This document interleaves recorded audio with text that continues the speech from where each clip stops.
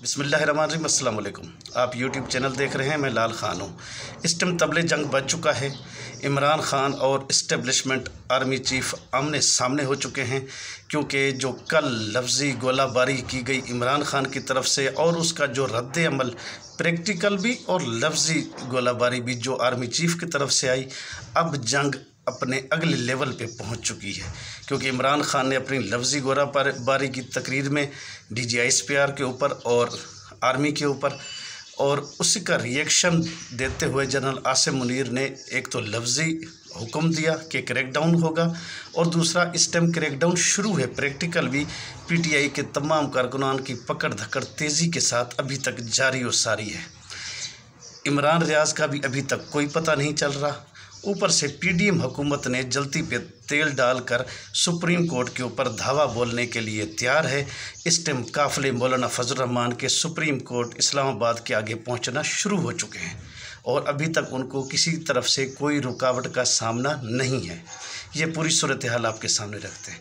देखिए, ये जंग थी पहले पीडीएम और इमरान खान के बीच में और बहुत तेज़ी के साथ बढ़ रही थी और इमरान खान की उसमें काफ़ी विनिंग पोजीशन थी। लेकिन अचानक ये जंग तब्दील होती है इमरान खान और इस्टबलिश के इस्टबलिशमेंट के बीच में, जब इमरान खान को लाहौर हाई कोर्ट से रेंजर्स ने आके शीशे तोड़कर ज़बरदस्ती गिरफ़्तार किया। उस टाइम ये जंग कन्वर्ट हो गई पीडीएम से इमरान खान और इस्टबलिशमेंट के बीच में, और वो आमने सामने हो गए। और पीडीएम भी यही चाह रही थी कि ये दो आमने सामने होंगे, तभी हमारी कोई बचत होगी। तो उसमें इमरान खान ने लफ्ज़ी गोलाबारी की तो ऊपर से आर्मी चीफ ने उसका रिएक्शन दिया। तो ये बात बढ़ते बढ़ते D G I P R का रिएक्शन नाम लेके पार्टी का सामने तनकीद करना, उसके ऊपर इमरान खान का रिएक्शन आना, ये सारी चीज़ें इस तरीके से तेज़ी से हालात बदल गए। इस टाइम समझ लो कि तबले जंग बजा हुआ है और मुल्क की सूरत हाल काफ़ी तेज़ी से बदल रहे हैं। ऊपर से जलती पे तेल डालने के लिए पीडीएम हुकूमत ने मरियम नवाज़ को और मौलाना फजल रहमान को लॉन्च कर दिया है। इस टाइम इस्लामाबाद के अंदर कारकुनान पहुँचना शुरू हो गए हैं। मौलाना फजल रहमान के कराची से उनका काफ़िला चल पड़ा है और मरीम नवाज़ रातों रात पूरी काबीना के साथ इस्लामाबाद पहुँच चुकी हैं क्योंकि सुबह इन्होंने हमला करना है सुप्रीम कोर्ट के ऊपर। क्यों करना है?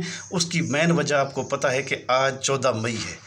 और सुप्रीम कोर्ट का आर्डर था पंजाब के अंदर इलेक्शन कराने का चौदह मई को। लेकिन उन्होंने इलेक्शन से भागने के सारे हरबे इस्तेमाल कर लिए। पीटीआई को पकड़ना, क्रैश करना, इमरान खान को जेल में डालना, फिर ये दंगे फसाद के नाम के ऊपर अपनी सियासत चमकाना हर हरबा इस्तेमाल कर लिया सिर्फ़ इस इलेक्शन से भागने के लिए। फंड्स नहीं दिए गए। इलेक्शन कमीशन ने अपनी चमड़ी बचा के साइड पे हो गए जी, हम तो तैयार हैं, लेकिन हमारे पास फंड नहीं है तो हम क्या कर सकते हैं? तो सुबह उस पर ऊपर एक्शन होना है, क्योंकि आज कंटेम्प्ट ऑफ़ कोर्ट लग गया। और जो हमारे ज़राए बता रहे हैं, चार बंदों ने तो हर सूरत उड़ना ही उड़ना है। वजरत ख़जाना, इसाक डार, वो उड़ेंगे, क्योंकि उन्होंने पैसे नहीं दिए। कोर्ट का आर्डर नहीं माना।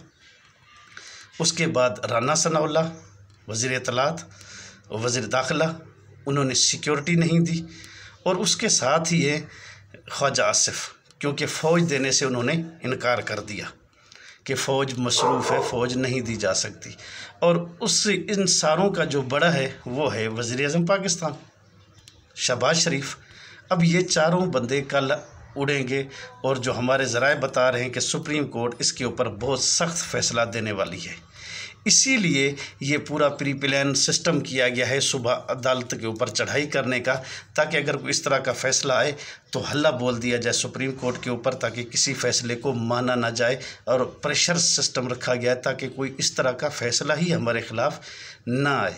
लेकिन दफ़ा एक सौ चौतालीस नाफिज रेड जोन में फ़ौज ऑलरेडी उन्होंने बुलाई हुई है। अगर उसके बावजूद भी फ़ौज इस सिक्योरिटी को यकीनी नहीं बनाती और सुप्रीम कोर्ट भी सेफ़ नहीं रहती तो फिर तो हालात बहुत बिगड़ेंगे। इमरान खान ने उसी के पेश नज़र अपना एहतजाज की काल दी हुई है। आज शाम को एक घंटे के लिए पूरी आवाम बाहर निकलेगी। यूसी सतह के ऊपर, क्योंकि तोड़ तो इमरान खान ने भी रखना है अपना। अगर मज़ीद आगे कोई इस तरह की ये जो सुप्रीम कोर्ट का आर्डर आज कैंसिल हो गया, नहीं माना गया कंटेम्प्ट ऑफ़ कोर्ट नहीं लगती तो वो मज़ीद जलसे और धरने भी देंगे। इसीलिए इस टाइम जंग अपने अगले लेवल पे और रूज पे और आखिरी मराहल में दाखिल हो चुकी है। इमरान रियाज खान का इस टाइम तक कोई पता तब नहीं है।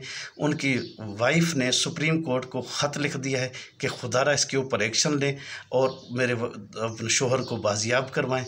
पता तो चले, वो ज़िंदा है कि नहीं है। उसके वालद साहब ने बहुत खदशे का इजहार किया कि मुझे डर है कहीं उन्हें शहीद न कर दिया जाए।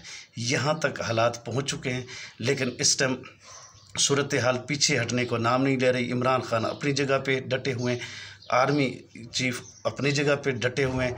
पीडीएम हुकूमत तो इस मौके का फ़ायदा उठाने के लिए तैयार है और साथ ही सुप्रीम कोर्ट का भी सुबह बहुत बड़ा फैसला आने वाला है। अब देखते हैं कि सारी सिचुएशन में हालात क्या बनते हैं।